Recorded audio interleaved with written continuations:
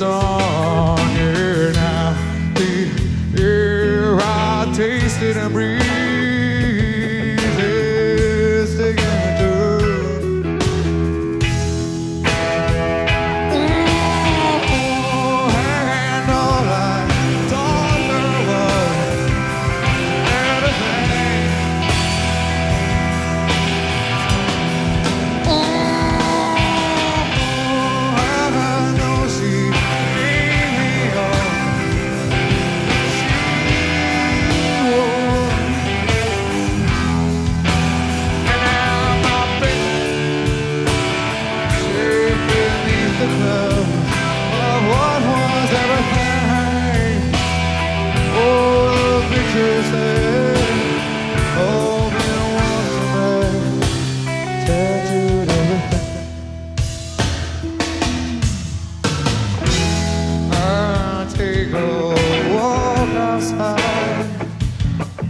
surrounded by some kids that play.